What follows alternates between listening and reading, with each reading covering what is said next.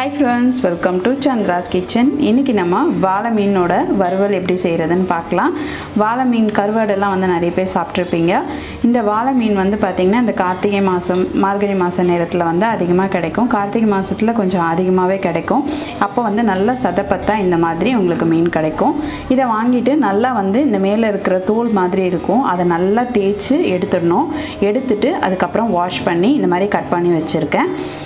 இப்போ நம்ம மீனுக்கு தேவையான மசாலா சேர்த்துடலாம். இப்போ ஒரு கால் ஸ்பூன் அளவுக்கு மஞ்சள் தூள் சேர்த்துக்கலாம். அதுக்கப்புறம் நான் வந்து ஒரு துண்டு இஞ்சி அப்புறம் ஒரு நாலு பூண்டு அதுக்கப்புறம் பார்த்திங்கன்னா சோம்பு. இந்த சோம்பு வந்து கால் ஸ்பூன் எடுத்திருக்கேன். இது எல்லாத்தையும் சேர்த்து அரைச்சாச்சு. இந்த அரைச்ச விழுது ஒரு அரை ஸ்பூன் இதில் சேர்த்துக்கிறேன். இப்போ அடுத்ததான் தேவையான அளவு மிளகாய் தூள் சேர்த்துக்கலாம். நான் வந்து தனி மிளகாய் தூள் தான் சேர்க்குறேன். ஒரு ஒன்றே கால் ஸ்பூன் அளவுக்கு சேர்க்குறேன். அடுத்தது தேவையான அளவு உப்பு சேர்த்துக்கோங்க.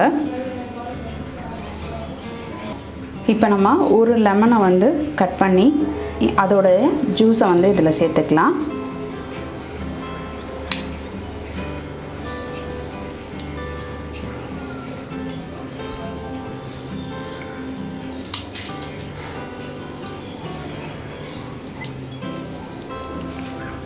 இப்போ இது எல்லாத்தையும் சேர்த்து நல்லா வந்து கலந்துடலாம்.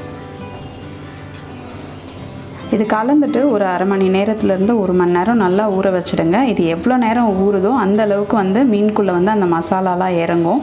அதனால் நல்லா கலந்துட்டு இதை வந்து ஒரு ஒன் ஹவர் வந்து அப்படியே ஊற வச்சுடுங்க. அப்போ தான் வந்து உங்களுக்கு நல்லா டேஸ்ட்டாக முருகலாக மீன் நல்லா வரும். நீங்கள் எப்போவுமே வந்து இந்த மாதிரி சீசனில் கிடைக்கிற இந்த மீனை வாங்கி சாப்பிட்டு பாருங்கள் ரொம்ப டேஸ்ட்டாக இருக்கும். இது மற்ற டைமில் வந்து உங்களுக்கு பெருசாக வந்து கிடைக்காது. நம்ம வந்து என்ன தான் வந்து வாழை மீன் கருவாடு வந்து சாப்பிட்டாலுமே இந்த ஃப்ரெஷ்ஷாக சாப்பிட்ற மீன் வறுவல் ரொம்ப சூப்பராக இருக்கும். இந்த மீன் வந்து நல்லா திக்காக தான் இருக்கும். அதனால் உங்களுக்கு உள்ளெல்லாம் மசாலா வந்து இந்த மாதிரி தடவி விட்டுக்கோங்க. இந்த மீனுக்கு வந்து நம்ம அரிசி மாவோ இல்லை வந்து கார்ன்ஃப்ளவர் மாவோ சேர்க்க தேவையில்லை.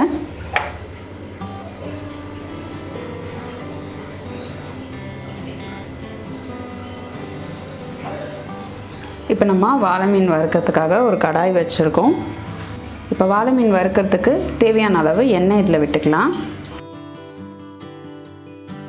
இது வந்து நம்ம ஷாலோ ஃப்ரை மாதிரி பண்ண போகிறதில்ல கொஞ்சம் நம்ம வடை பொரிக்கிற மாதிரி தான் வைக்க போகிறோம் அதனால் எண்ணெய் சூடாகட்டும். இப்போ நம்ம எண்ணெய் காஞ்சிடுச்சு. வாழை மீனை வந்து இதில் போட்டுடலாம்.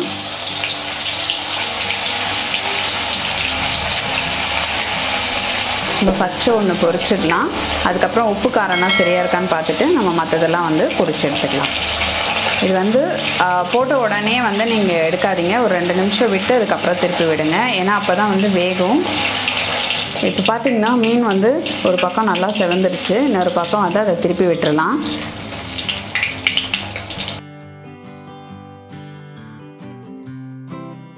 இப்போ பார்த்தீங்கன்னா ரெண்டு பக்கமும் நல்லா வந்து செவந்திருக்கு. இந்த மாதிரி வந்து நல்லா செவக்க வச்சு எடுங்க. இப்போ இதே மாதிரி நம்ம எல்லா மீனையும் வந்து போட்டு பொறிச்சு எடுத்துக்கலாம்.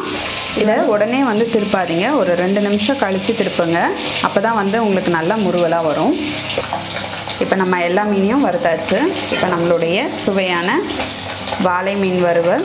ரொம்ப சூப்பராக ரெடி ஆகிடுச்சு நீங்களும் இந்த வாழை மீன் வறுவலை உங்கள் வீட்டில் ட்ரை பண்ணி பாருங்கள் ட்ரை பண்ணி பார்த்துட்டு உங்களுடைய ஃபீட்பேக்கையும் கமெண்ட்டையும் எங்களுக்கு சொல்லுங்கள் இந்த வீடியோ உங்களுக்கு பிடிச்சிருந்ததுன்னா லைக் பண்ணுங்கள் உங்கள் ஃப்ரெண்ட்ஸ்க்கும் ஷேர் பண்ணுங்கள் மறக்காமல் சந்திராஸ் கிச்சனுக்கு சப்ஸ்கிரைப் பண்ணுங்கள் நான் இன்னொரு சுவாரஸ்யமான வீடியோவோடு உங்களை சந்திக்கிறேன். நன்றி வணக்கம்.